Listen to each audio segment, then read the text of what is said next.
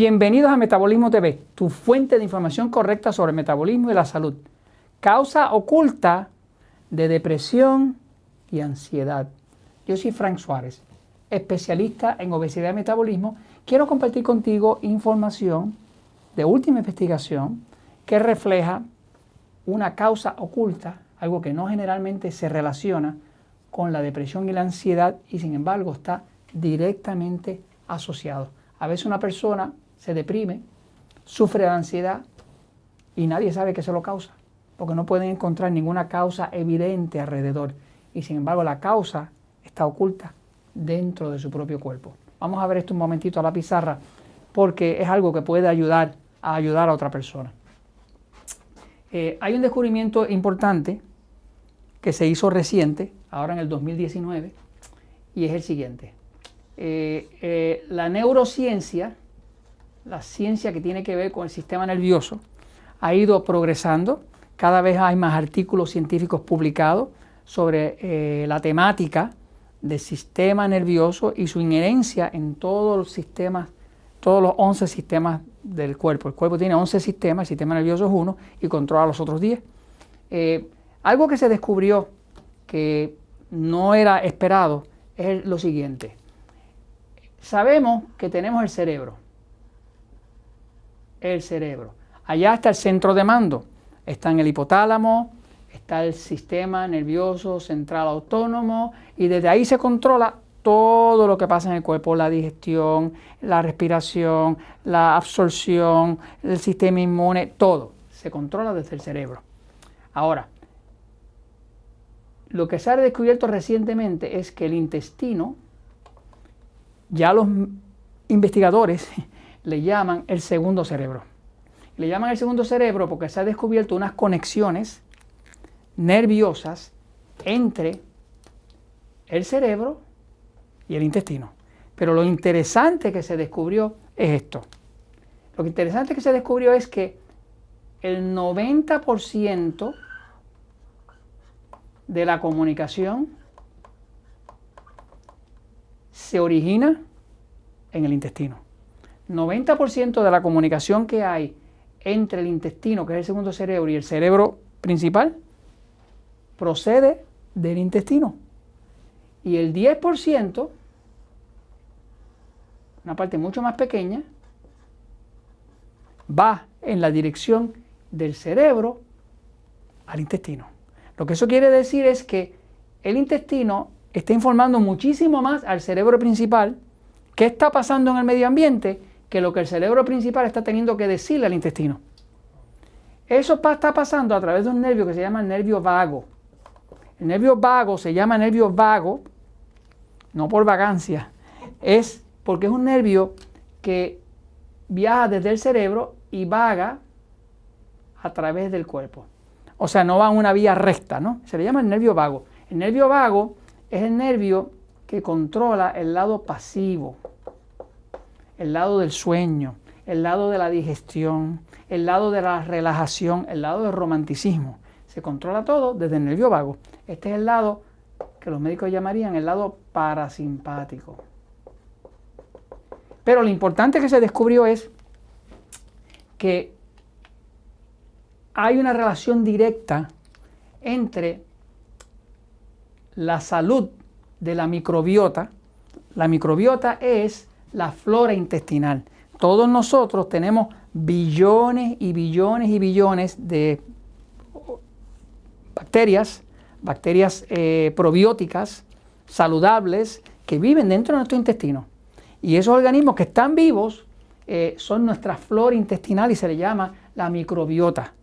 Algo que se descubrió es que esa microbiota que está en el intestino produce neurotransmisores de los mismos neurotransmisores que se producen en el cerebro, pero se producen en el segundo cerebro, dentro del mismo intestino. Por ejemplo, la acetilcolina, que ayuda con la memoria y ayuda a reforzar el placer, las cosas placenteras, se produce también en el intestino. Se produce en el cerebro, pero hay más acetilcolina producida en el intestino que en el cerebro. Quiere decir que ahí el segundo cerebro está funcionando a toda su capacidad.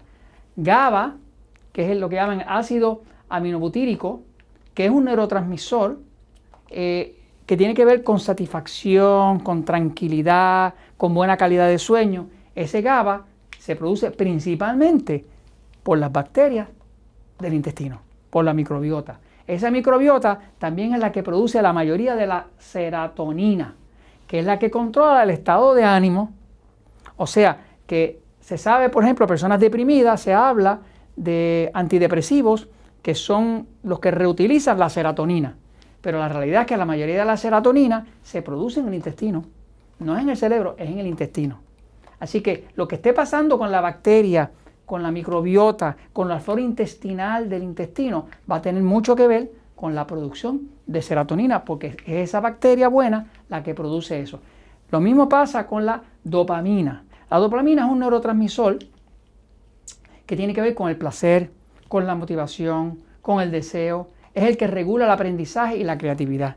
Entonces, estos cuatro neurotransmisores que los asociamos con condiciones de estado mentales, emocionales y demás, interesantemente se fabrican más en el intestino, en la microbiota, que en el cerebro.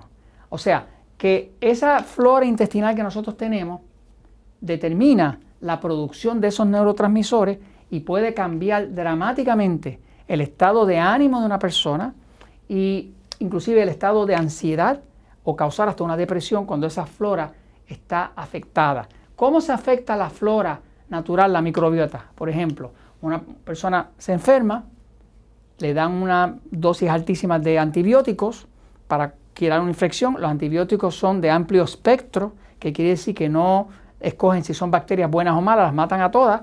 Ahora la persona queda con toda su flora intestinal muerta porque le dieron el antibiótico y ahora eh, cambia la composición de las bacterias. Dentro del intestino van a haber este, bacterias, bacterias que son bacterias eh, que son aeróbicas y que son eh, bacterias buenas que producen lo que llaman el ácido butírico.